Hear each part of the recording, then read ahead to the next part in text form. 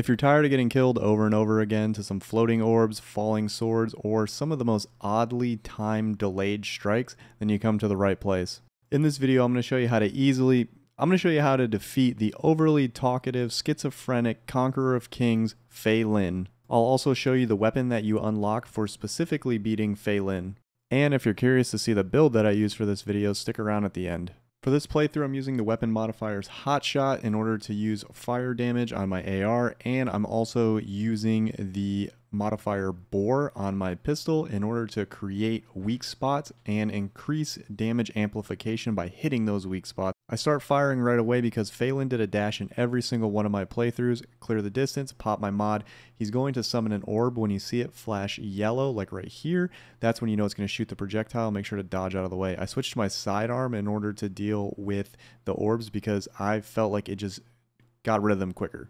The head is his weak spot and it'll do critical damage. When you see this glowing light come around you, like right here, that's when you dodge back. Otherwise, he'll summon you towards him and then hit you with a strike.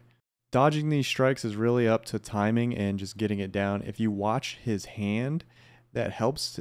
I also found that if you roll towards him, it works a little easier than rolling away.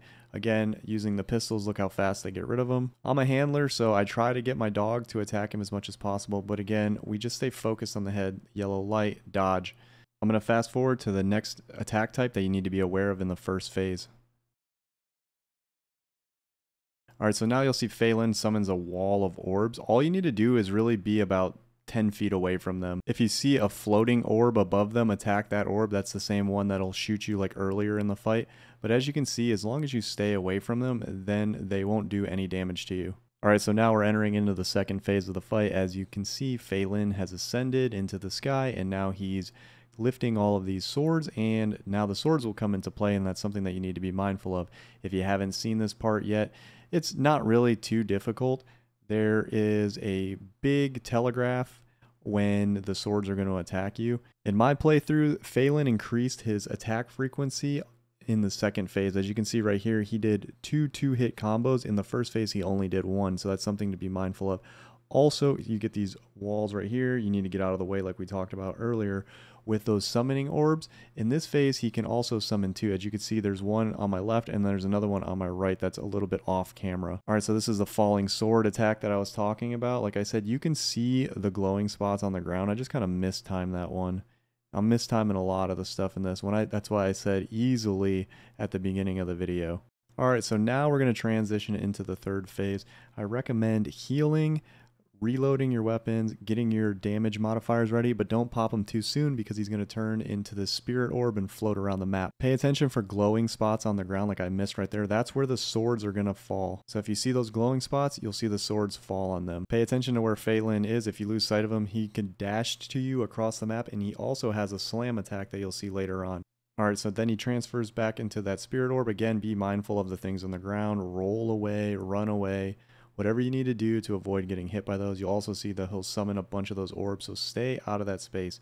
He'll do this slam attack right here that a simple dodge will dodge it. I wasn't really paying attention. I was focused on the other stuff. So make sure that you're looking for him constantly when he's floating around while also paying attention to the falling swords and the flurry of orbs that are going around. Like I said, there's a lot going on. So there's a dash. I mistimed it again. I was ready for it, but I mistimed it and then he'll go in for another teleport away. So again, once he teleports, you need to remember look for him and then also at the same time be mindful of those swords.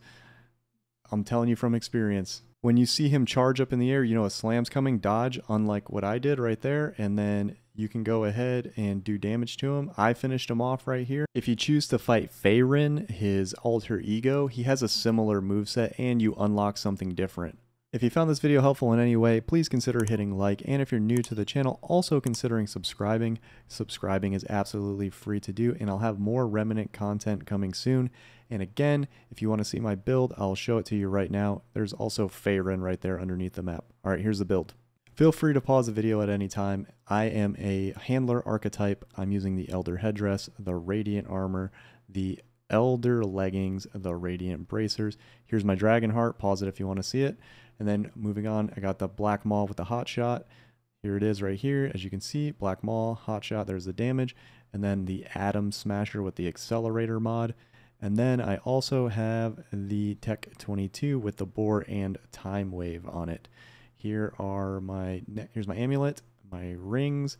You can go ahead and pause these at any time if you want to read everything that they do. I don't want to insult anyone's intelligence or waste anyone's time. To unlock the Deceit Long Gun, which is the specific weapon that you receive for defeating Faelin, head over to Ava, hand her that imposter heart and the other required material, and she will give it to you.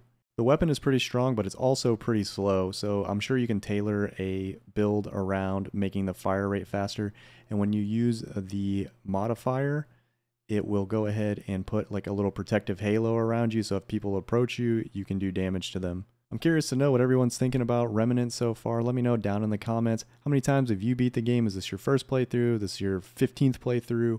What classes and archetypes have you used and which ones do you think are the best? Let me know down in the comments. Remember guys, if there's a boss, I'll help you beat it. I've been Rivtekk. I'll see you in the next one.